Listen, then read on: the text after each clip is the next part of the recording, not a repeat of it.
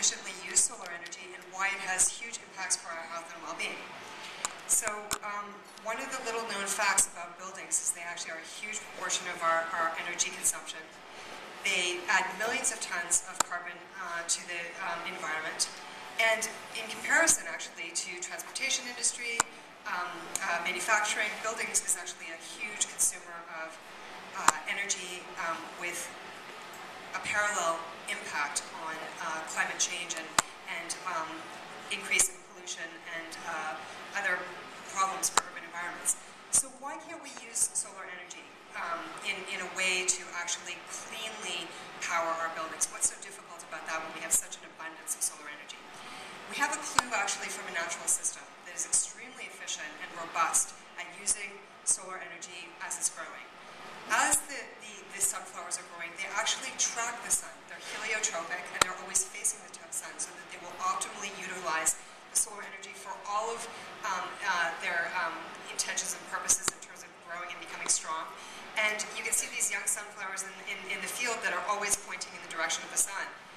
They also do all of this um, while synergistically working um, with all of the other um, uh, plants and animals and, and, and, flora and fauna in their atmosphere. Um, so we would say that it's a clean, they're participating in a clean ecosystem, but they're producing um, a very efficient processing of energy for rapid growth and, and their own well-being. Now, the, the uh, sunflower tracks the sun, but our buildings are stationary, and that provides the first big problem um, in terms of optimizing our relationship to the sun for harvesting the energy. It also provides a big problem in terms of um, using sun for the basic thing uh, that, that we need it for, which is actually for daylight. Now, um, the, the sunflower responds to the position of the sun according to its circadian rhythm, which means that it has a body clock, just like we have body clocks. And if we actually don't get enough daylight during the day, that completely messes up our body clock. Um, now, we can see a big problem in New York City.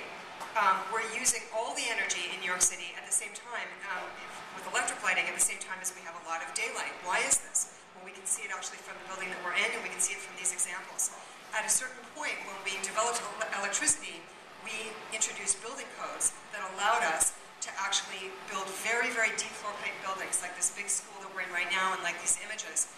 And it meant that you could actually light a space electronically and not with daylighting.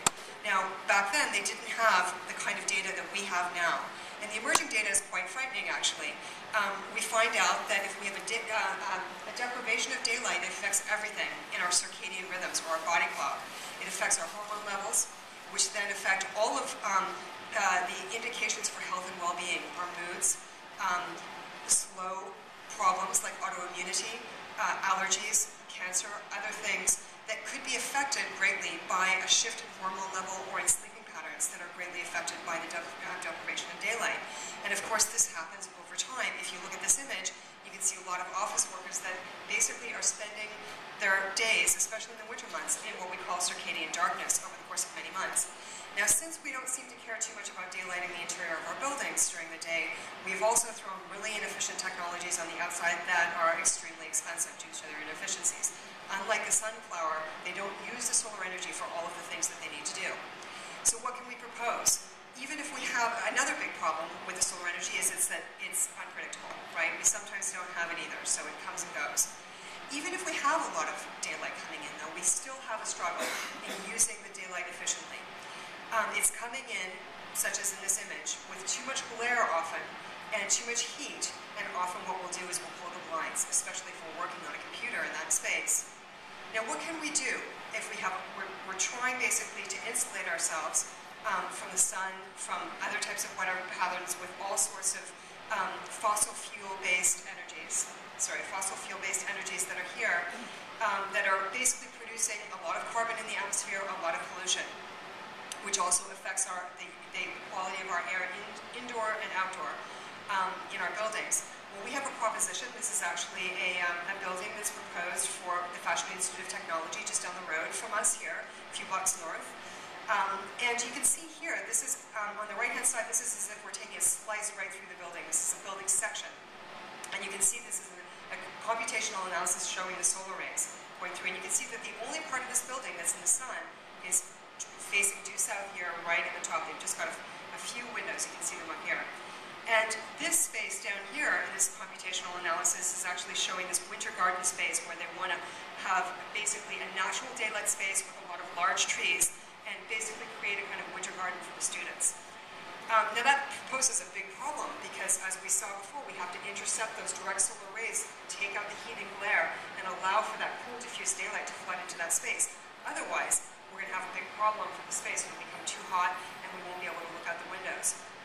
So propose a system that has um, energy harvesting. We have electrical, thermal energy that we take off the system, and then we do all these other things that we need to do. We light the space, and um, we provide a lot of usable daylight. And we do this um, through inserting modules into windows, where we're basically also, just like the sunflower, we're tracking the sun. So this is showing a picture of the, of, of the, um, the modules facing west at the end of the day. Um, and the sun during the day. And importantly, what it does is it absorbs the, the solar energy, just like the solar, uh, the sunflowers. It concentrates that form of energy into these modules, and then it takes it off as usable energy that we then distribute, just like a kind of um, um, uh, circulation um, uh, system uh, through the building. So we redistribute that heat energy, or if we don't need heat, we redistribute it into cooling. Mostly importantly, we take that daylight off of the window and we redistribute that light throughout the building as well. So it's not just the people who get an office right beside the window that get to participate in daylight. And we would say that in the future, uh, just like awareness of how food affects um, health and well-being, we would say that in a democratic society, all people will have access to healthy daylight in their environments.